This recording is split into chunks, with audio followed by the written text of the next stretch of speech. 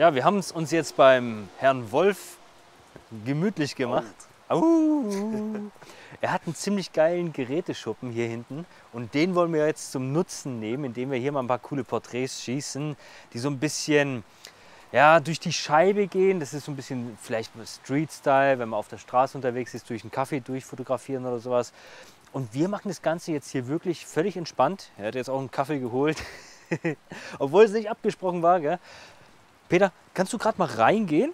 Weil wir machen jetzt die Aufnahmen nicht vor der Scheibe, sondern hinter der Scheibe wird das Ganze stattfinden.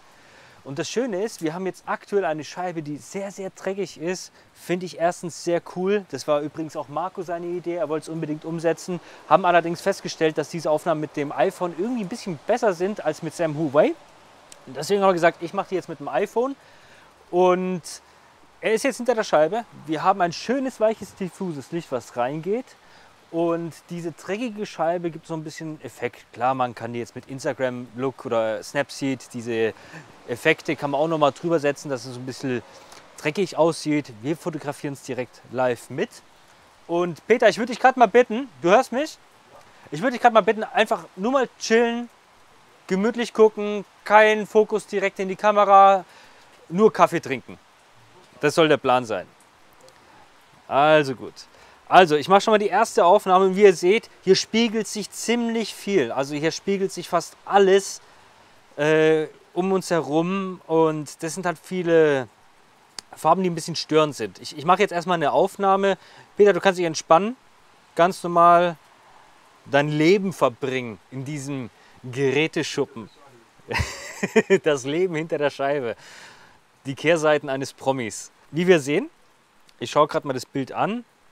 Jetzt habe ich die Scheibe fokussiert, ist auch ein Effekt. Es sind viele Störer, die ein bisschen nervig sind. Und eines der ersten Störer wäre jetzt für mich die ganzen Farben. Deswegen entscheide ich mich gleich, ich fotografiere in Schwarz-Weiß. Einen Look kann ich später immer noch drüber setzen, aber ich, ich möchte das gleich beurteilen können, wie es aussieht. Und daher würde ich gleich sagen, ich gehe hier in den Modus herein, wo ich einen Schwarz-Weiß-Look Schaut mal her, ich gehe mal hier mal durch, welche Presets man hier alle direkt live anwenden kann. Ja, das ist auch nicht schlecht. So ein Sepiaton, ein bisschen wärmer macht es auch. Ja, jetzt kommen wir Richtung Schwarz-Weiß, Schwarz-Weiß hell, Silbertöne, Schwarz-Weiß dunkel. Und das ist, was mir sehr gut gefällt. Das ist mir fast zu feminin, fast zu weich, zu silbrig. Aber dieser Schwarz-Weiß dunkle Stil, der gefällt mir jetzt unheimlich gut. Den würde ich jetzt so belassen. Das heißt, ich bestätige ihn und ich mache jetzt mal die gleiche Aufnahme wie soeben auch. Und wir vergleichen jetzt mal. Das war das Bild zuletzt und das war das Bild. Das war nichts, das lösche ich gerade mal, weil das brauchen wir wirklich nicht. So, zack, Foto löschen. So, dann können wir das besser vergleichen. Ich finde es interessanter. Okay, ganz klar, es ist sehr, sehr speziell. Dieser Geschmack, der ist sehr, sehr speziell. Aber ich finde es schön, bei Fotos auch mal Personen zu beobachten, was sie machen, wenn der Fokus nicht immer direkt in die Kamera geht. Und das haben wir hier auch. Er ist in seinem Element, er ist jetzt in seinem Häuschen drin, in seinem Geräteschuppen, liest eine Zeitung, raucht heimlich eine Zigarette vielleicht. Wobei er das Rauchen aufgehört hat. Für unser Video pufft er. Du puffst, gell? Er puffte. Trinkt einen Kaffee, genießt das Leben und ich tue ihn jetzt ein bisschen so undercover-mäßig fotografieren. Okay, Peter, chill einfach mal. So, jetzt haben wir folgende Situation. Hier spiegelt sich halt sehr viel drin, gefällt mir sehr gut. Man könnte ja fast dieses, dieses Bild so auch ein bisschen als Double Exposure verkaufen, diesen Bildstil. So.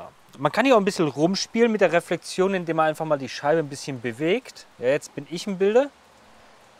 Ah, seht ihr das? Also das ist schon mal eine Variation, wo wir verändern können. Wir können die Spiegelung beeinflussen, indem wir die Scheibe mal auf und zu machen. Und das ist etwas, was ihr auch zu Hause machen könnt. Wenn ihr ein Fenster habt, das ein bisschen dreckig ist, das ist jetzt sehr dreckig, Scheibe mal auf und zu, dann könnt ihr den Effekt beeinflussen. Ich mache das gerade mal von hier unten, so, ohne dass ich jetzt drin bin. Das ist sehr gut, Peter. Jetzt habe ich eine Spiegelung direkt im Auge, möchte ich nicht haben. Blick mal ein bisschen mehr nach unten. Denk mal über dein ne-, Leben nach. Alles gut gelaufen. Sehr zufrieden. etwas sentimental, aber ich mag das, wenn das so ein bisschen sentimental ist. Nehm mal. Du bist ein nachdenklicher Wolf. Ich schieße den auch mal gerade mit. Was wir jetzt auch noch beeinflussen können, ist da, wo die Schärfe sitzen soll, oder der Fokus zumindest. Aktuell ist er jetzt so ein bisschen auf dem Peter. Ich kann es nochmal verbessern, indem ich jetzt hier mal reinzoome. Bleib mal ganz kurz stehen, Peter. Versuch dich nicht zu bewegen.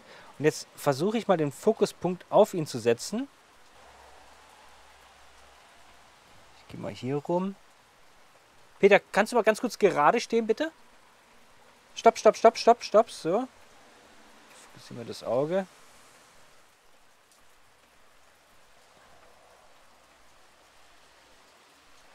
Ich lasse es jetzt mal so. Jetzt habe ich die Schärfe so auf, aufs Auge gesetzt. Ich löse mal aus. Ich drehe mal ein bisschen die Kamera, spiele mal ein bisschen rum. Zoome mal ein bisschen heraus. Jetzt habe ich nur ein Auge, ist auch nicht schlecht. Also ich habe jetzt nicht den Fokus auf die Scheibe gesetzt, weil dann sehe ich gar nichts mehr von Peter. Man kann es auch mal probieren, ist aber jetzt nicht ganz so mein Ding.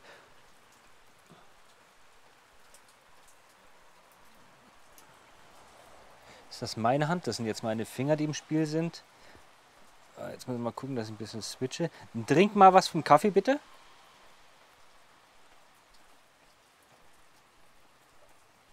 Ich ein bisschen näher ran. Nochmal bitte.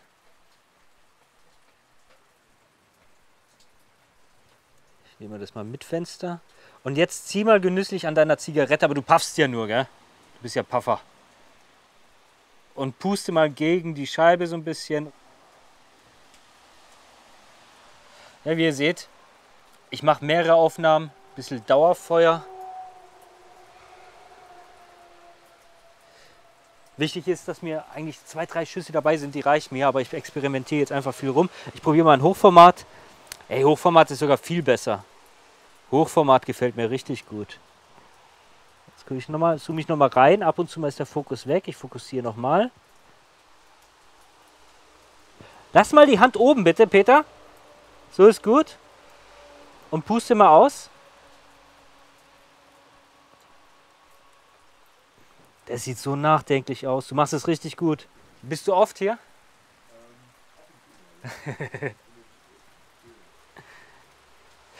Ich würde sagen, wir haben genügend Aufnahmen.